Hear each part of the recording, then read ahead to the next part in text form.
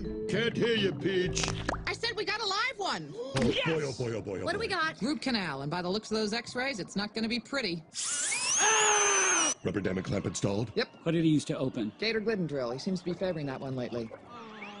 I can't see, Flo. I can't. Ah! ah! Now he's doing the shoulder technique. Oh, he's using a hedstrom file. That's not a hedstrom file. That's a K-flex. It's got a teardrop cross section. Clearly a hedstrom. No, no, K-flex. Hedstrom. K-flex! Hedstrom! There I go. Little help. Over here. I'll go deflate him.